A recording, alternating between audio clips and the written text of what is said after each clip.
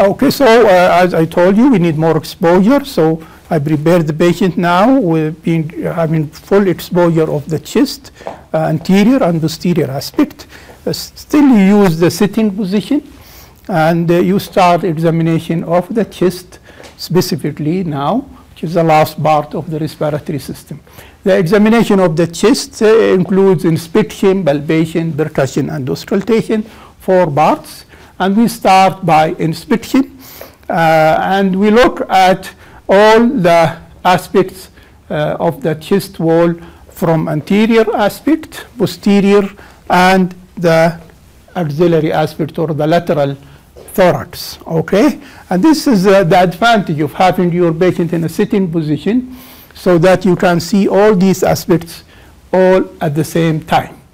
Uh, and when we start by inspection, we look at four main things. So remember, four inspection, palpation, percussion, auscultation, and the inspection also includes uh, four includes four aspects, which is examination of the skin, examination for chest shape, looking for deformities, and chest movements. So uh, we look, we start by skin, uh, as we see in the slides, looking for lesions and pigmentations. So you look carefully.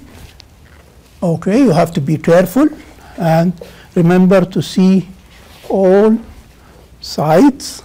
Look at the back. You should have good light at the back. Uh, look for the skin uh, for any lesions that you can see or any abnormal pigmentations. You can see these in the slides. There are different pigmentations and types that you will have more about them when we take the dermatology lectures, the different pigmentations and lesions that you can see and how you describe them. Uh, you have to look at the skin also from the aspect of surgical scars. Uh, there are patients that you will see in the hospital that they come to us and they have scars from previous surgeries. Uh, um, the scars will appear in different ways and you, the slides here shows uh, uh, some types of scars in the chest, the midline sternotomy scar, thoracostomy scar, uh, and you have also uh, small scars of uh, the video-assisted thoracoscopic surgery, VATS. And you can have some uh, scars that are related to chest drainage or chest aspiration. Uh, there are other scars which can be traumatic scars. So it will be easily uh, you can differentiate between whether you are seeing uh, like a traumatic scar from accidents or a surgical scar, and you should be able to differentiate between the two because the surgical scars usually will be seen in a very uh, descriptive way as the slides show. Uh, now, after you finish the skin from these aspects, you look at the chest shape. Uh, the chest, how the chest shape appears. There is a normal chest shape and there is abnormal chest, or there are other abnormal chest shapes. So uh, look at the first thing to look at the chest shape, you look from the profile and you see what we call as the anterior posterior diameter. And the normal people, the anterior posterior diameter should be uh, like narrower than side to side diameter. Uh, so if you look at the anterior posterior diameter from here, it should not be bulgent and it should be much less than side to side.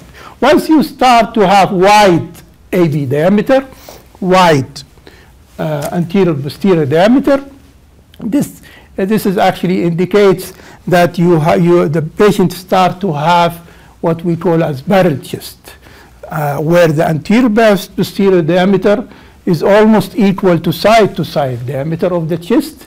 And this is a sign of barrel chest or hyperinflated chest that can be seen with, with COPD and patients with obstructive airway diseases. So anterior posterior diameter and its comparison to the side to side diameter is very important start with examination of chest shape. Uh, the chest shape also should include asymmetry. Because normally, all of us, alhamdulillah, we have actually symmetrical shape. Uh, the right is almost the same looking as the left. However, in patients with diseases or they have abnormalities or they, uh, they have deformities, you may see asymmetry. And as you see in the slide, the asymmetry indicates that the right side is uh, not similar to the left, and this is abnormal. So if you define any symmetrical or, or asymmetrical uh, chest uh, shape, you have to specifically say that and mention it. Uh, sometimes it's important to be at the front of the patient rather than the side and look at the symmetry, uh, symmetrical or asymmetrical shape from the front, okay? And also from the back, you go back, look at asymmetry from the back. You can also look from the top here, and you can see whether the chest shape is symmetrical or asymmetrical by having such look. So all of this trying to find symmetry or asymmetry of the chest shape. Uh, of course, if you mention, if you find it, then you have to mention it and describe it as it, it shows. Uh, looking for deformities is the other part of inspection and the deformities that are very important of the of, or the common deformities that we face are deformities of the sternum and deformities of the spine.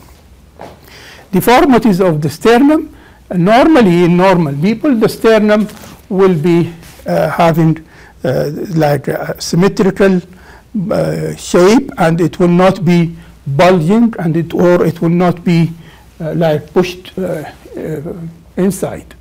Uh, if you see it pushing inside, which we call as funnel chest or pectus excavatum, as you see it in the slide here, this can happen as one type of deformity of the spine. Uh, and uh, there are causes for it. Uh, but at, at, this stage, we just look whether it is present or not. Another deformity of, this, of the sternum is the pigeon chest or the pectus carinatum. And again, you see it in the slide, even by the X-ray. And you can see that the sternum will be bulging anteriorly, uh, and that's called pigeon chest or pectus carinatum.